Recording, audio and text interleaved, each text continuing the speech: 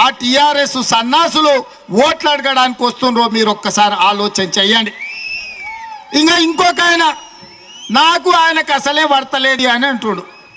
ఎందుకు వర్తలేదు నాయన? మొన్నటి వరకు మీరిద్దరు ఒకటే కంచంలో తింటారు ఒకటే మంచంలో వండుకుంటారు. హరీష్ రావు ఈటల రాజేందరు ఇద్దరు ఒకటే దగ్గర తిరిగిండ్రు కదా. బడమియ చోటమియ లాక ఇద్దరు జోడుగుర్రా లాక ఇరవై ఏండ్లు తిరిగిండ్రు కదా. ఇరవై ఏండ్ల తర్వాత మీకు పంపకాల కాడ పంచాయతీ వచ్చి వాడో దిక్కు వీడో దిక్కు పోయి దొంగలు దొంగలు కలిసి గట్లు వంచుకున్నారు అన్నట్టుగా ఇవాళ ఈ హుజూరాబాద్లో వచ్చి నాకు ఆయనకు పడతలేదు అంటారు ఎందుకు పడతలేదు ఏమన్నా రాజేందర్ పేదోళ్ళ పింఛన్ కోసం కొట్లాడిండా? దళితుల మూడెకరాల భూమి కోసం కొట్లాడిండా? డబుల్ బెడ్రూమ్ ఇళ్ళ కోసం కొట్లాడిండా? నౌకర్రాని పిల్లల చదువుల కోసం కొట్లాడిండా?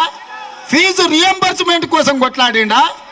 ఆరోగ్యశ్రీని ఆరోగ్యశ్రీలో కరోనాను చేర్చమని కొట్లాడిండా? లేకపోతే వడ్లకు గిట్టుబాటు ధర ఇవ్వమని కొట్లాడిండా? ఎందుకు కొట్లాడిండా? వందల ఎకరాల భూమి అసైన్మెంట్ భూమి ఆమె గుంజుకున్నాడని దేవుడు భూములు ఆక్రమించుకున్నాడని కేసీఆర్ ఆయన పంపకాలాల పంచాయతీ పెట్టుకోరు. దొంగలు పంపకాలాల పంచాయతీ వచ్చి నీకెక్కువ నాకెక్కువనా అని నువ్వెక్కువ తిన్నావు నేనెక్కువ తిన్నా నాకు తక్కువనా నీకెక్కువనా అని ఇద్దరు కలిసి కొట్లాడుకోరు. ఇవాళ వాళ్ళ పంచాయతీ అంతా గంతే. ఇవాళ వీణవంక రైతులు వండించిన వడ్లకు గిట్టుబాటు ధర ఏమైనా అడగలే? వీణవంకలో చదువుకున్న పిల్లలకు ఫీజులు ఏమైనా అడగలే? వీణవంకలో ఈ ప్రాంతంలో యాభై ఏడేళ్ళు నిండిన మహిళలకు పేదలకు పింఛను ఏమని కొట్లాడలే? లేకపోతే ఇక్కడ లక్ష రూపాయల రైతు రుణమాఫీ చేయమని అడగలే. ఏందే వీళ్ళ పాలి పంచాయతీ? వీళ్ళ పంపకాల పంచాయతీ? ఇవాళ ఉప ఎన్నికలు తీసుకొచ్చినాయి. ఇవాళ నేను అడుగుతున్నా ఇవాళ టీఆర్ఎస్ వాళ్ళు అంటారు మేము దళిత బంధు ప్రవేశపెడితే ఇవాళ రాజేందర్ అడ్డుకున్నాడే.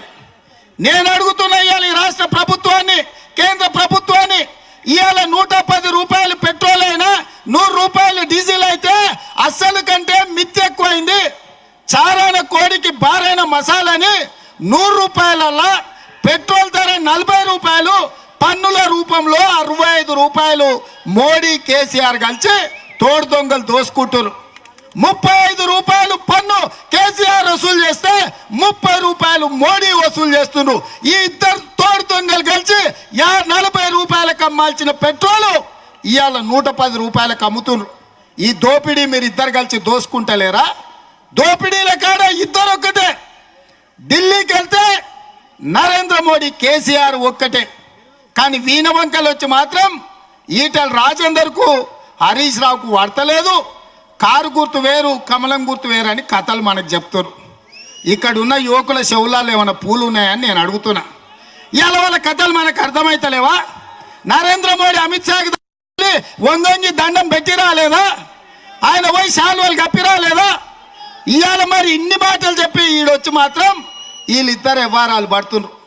ఈ వ్యవహారాలన్నీ మీరు ఆలోచన చేయండి సోదరులారా.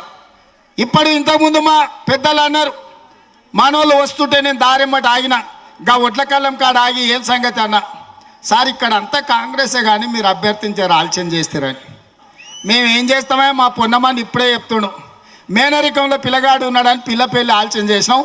వాడేమో ఎక్కడో లేచిపోయిండు అప్పుడు పిల్లకు సంబంధం చూడాల్సి వచ్చింది జర లేట్ అయిందని. మన ఇంట్లో ఆడబిడ్డ ఉన్నది. మేనరికం పోరాడు ఉన్నాడు. వాడు కొంచెం తిరుగుపోతైనా తాగుపోతైనా మన పిల్లగాడు కదా కళ్ళ ముందలు ఉంటాడు బిడ్డను చూసుకుంటాడని మనం అనుకున్నాం. వాడు లాస్ట్కు ఊరి మీద దేశదిమర ఎక్కనో పోయిండు. పిల్ల పెళ్ళి చేయకుండా ఊకుంటామా? ఊకుంటామా? మీరు చెప్పురి మంచోని ఇంకా అంతకంటే మంచోని చూసి సమయానికి లగ్గం చేస్తాం. లగ్గం టైంకి అయితే పిల్లగాడిని తెచ్చినాం కదా. ఇగో ఆ పిల్లగాడే బల్మూరు వెంకట్. ఇవాళ ఇవాళ ముహూర్తం ముప్పై తారీఖు. ముహూర్తం దాటక ముందే పిల్లగాన్ని తీసుకొచ్చినాం. ఆలస్యమైనా కూడా దుక్కి దుంతాడు రాత్రి మగళ్ళు దున్నే సత్తా ఉన్నాడు. వాళ్ళు ఆరు నెలలు దున్నినా గంతే మావాడు వారం దున్నినా గంతే మొత్తం దుంతాడు. అందుకే వయసున్నోని ఓపిక ఉన్నోని మీకు నమ్మకం ఉన్నోని నలభై ఏళ్ళు మీతో ఉండేటోడు మీకోసం కష్టపడేటోడు మీ కష్టాలలో తోడు ఉండేటోని బల్మూరు వెంకట్ని తీసుకొచ్చి పెట్టాం. సోనియమ్మ దగ్గరకు పోయి నేను మాట్లాడి తీసుకొచ్చిన టికెట్. బల్మూరు వెంకట్ ఈ జిల్లా పేరు నిలబెడతాడు. ఈ ప్రాంత ప్రజల కోసం కొట్లాడతాడు. ఓ చొక్కారావు ఓ సత్యనారాయణరావు ఓ రత్నాకరావు లేక కొట్లాడి ఈ ప్రాంతంలో జీవన్ రెడ్డి